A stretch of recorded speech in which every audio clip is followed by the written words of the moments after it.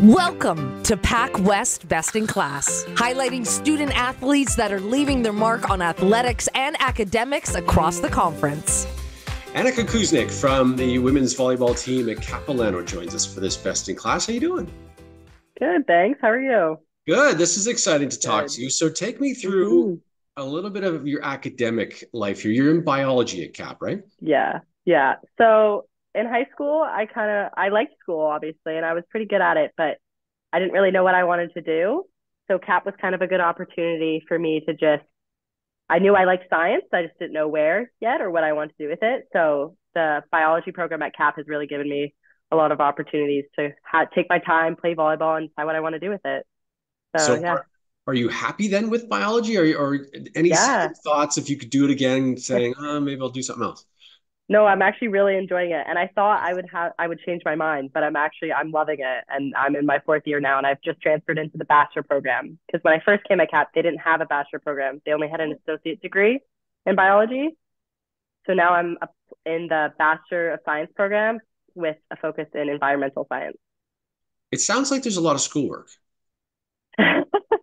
quite a bit, a lot. Yeah, a lot of courses that you don't think you have to take, but you do. yeah. So okay. So yeah. being a student athlete, I mean, that's yeah. a huge commitment in itself. Being part of the yeah, volleyball completely. team, travel and all the stuff. Then you go to nationals and that kind of thing. So how do you juggle? How do you how do you do it? How do you uh. work on schoolwork and play volleyball at a high level? Well, it helps to like what you're studying. That yes. definitely has a huge factor in it. I think also just staying focused and reminding yourself in times that you don't want to do that assignment because you rather just watch volleyball or watch the game yeah. that you just played or it helps to remind yourself that there are people before you that are able to do it so you can do it too. And i think that for me has been a big step. And things that i don't really want to do i just have to remind myself you know what? I, am capable. I'm smart. I can do this too. That's and that's been the biggest game changer for me.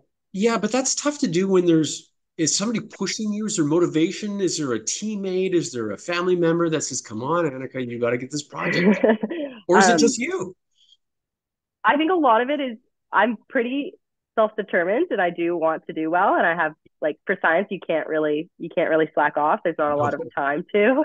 Um, but I think the program at CAP really there are a lot of staff there that they remind you that it's student first before athlete Mm-hmm. And so there's a lot of like places like programs in place like where like students if you are struggling one semester there are there are study halls that you can go to. It's a pretty good environment that like if you don't do well like you have to go to you can't go to lift or you can't go to practice. Like there are things that are in place so it like keeps you in check. And i think having those kind of guidelines in place really helps keep everybody focused how do you keep it all together though, knowing that there's a project coming up and there's a lift and there's a, a match and there's practices there something that you use? Is it your phone? Is it calendars? It's a lot of planning, I, I would say. Like if I know I have a, a weekend where I'm I'm away on Friday and Saturday because I have to play, it's a lot of that Monday you have to look, you're like, okay, I have this week, mm-hmm. this Thursday, I'm not doing anything. Okay, I have to get it done this Thursday before Friday and Saturday. Or if I know Friday and Saturday, okay, Sunday. Sunday is usually a pretty good day. Laundry and studying. That's my day. but yeah. it's, it is now that going into your fourth year, do you feel oh, like you have a routine? You know what you're doing, what to expect, or is there still some curveballs that got thrown at you? For sure. I think there are times where things get busier and there, there are slow times where you don't have something due right away. And I think it's important now that I've realized in those slow times when I don't have something immediately due, it's start working ahead on the stuff that will be due. Whereas I feel like if I didn't play volleyball, I wouldn't have to do that as much. Yeah. Yeah. Is it a little bit so more definitely looking ahead. Is it a little, is it a little bit more gratifying, do you think? And, and nothing to take away or not to take anything away from a student that isn't a student athlete, but when you get a project done where you have this big assignment and you get it done, you're still able to play, you're still able to make your commitments with volleyball, do you feel it, it, it might be a little bit more gratifying than, than a student that doesn't play a varsity sport? I would say a little bit more gratifying. I would also say it just feels like it's very satisfying to watch like things on your checklist get done. Like you just yeah. played a great match and then you also just handed in an assignment. And I think there's it kind of goes hand in hand that you feel like, okay, I do have it together. any moment when you're on the floor in any match of your blues career that you're thinking, oh, I got that assignment that I need to get done. And oh, here comes the surf. Oh no, not at all. I'm like uh, my head's in like my head's elsewhere sometimes. I don't know. Like I like I'm very I'm a very type of player. I just go and I play. Like maybe before a match. Maybe before a match. Right. Okay. Well, you can check it don't out. Don't tell John that. no, your we'll secret is safe with me. Yeah. Uh, you had a field trip. I wanted to ask you about yes. this cool ecology field trip that you had this year. Tell me about that. Yeah. Um we went to Vancouver Island and we got to explore some old growth forests and we saw some really cool beaches too. Some of like I would describe as like one of some of the most beautiful beaches in the world, honestly. Like so I like feel very privileged that I've actually seen some of the places before we went on the field trip too. And it was just a really great learning experience and it was really it was really interesting just to like see these places again, but see it in a more academic environment too. And was there big an assignment after that?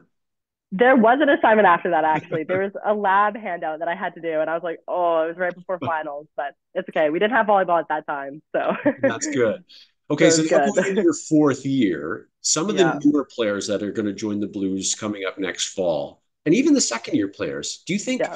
they will come to you to ask, hey, how do you how do you juggle all this stuff? Or I'm struggling over here. How how are you able to do it? I hope so. Um, I hope they could look to me for that. I've I have two um, younger roommates, and I hope that sometimes I could help them. But I find at CAP, I tend to be some of the only science. There's not a lot of us science kids in the athletics right. program, so usually the kids will go to the older kids to like say, okay, what class is good? Like, what class is good for this? Like, what teacher should I take? So What's I'm kind of I'm kind of on my own in this reign, but yeah. it's okay. Well, let's talk a little bit about volleyball. What a season sure. that you guys put together going yeah. to nationals. Boy, that must have been a, a heck of a thrill. Oh, it was so exciting. Oh, like it was like probably it was one of my best experiences ever. It was so awesome. Yeah. At the beginning yeah. of the season, did you feel that okay, we got a shot, or was it a bit of a surprise as the year went on? Oh no.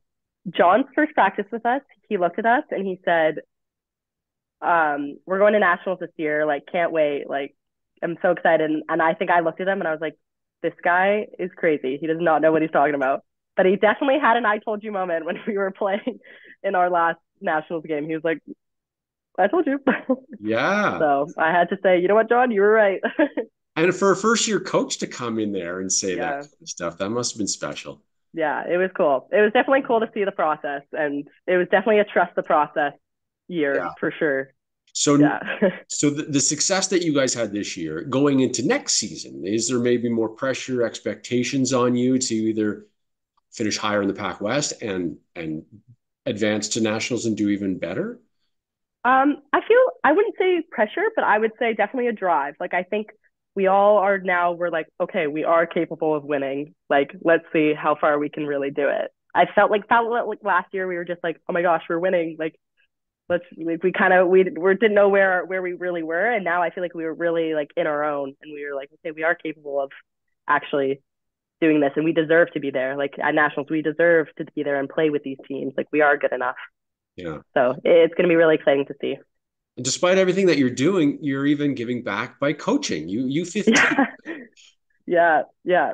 Uh, me and one of my teammates we started coaching a team in i think january? Yeah so we're just heading into provincials next weekend. So it should be exciting. A U15 girls team.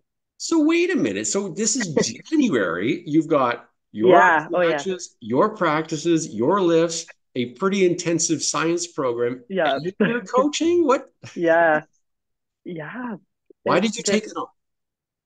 Um, I think I like staying busy. I think it helps me. I find when I'm not busy, I'm not as focused and I'm not as driven. And staying busy like just has always been part of my life even when i was in high school and like playing multiple sports and doing school. Like it just was mm-hmm. something that i really enjoyed and it just helped helped keeps me calm. Yeah. What about this summer? Yeah. what are you doing this summer when there is no volleyball commitments or school? Just a lot of working. I'm going to finish out coaching hopefully get to work um hopefully getting some touches. I would love to do some grass and beach while the weather's nice get outdoors a little bit and a lot of lifting. Well, part of the I game. You get to put your feet up too, because fall will be right around the corner, and you'll hear. True. You know yeah. yeah. yeah, yeah. Well, it's a great trip. story. Thanks for doing this. Thanks for sharing, Annika. And of course. See you on the floor in the fall. Awesome. See you then. This has been PacWest Best in Class with Ryan Watters.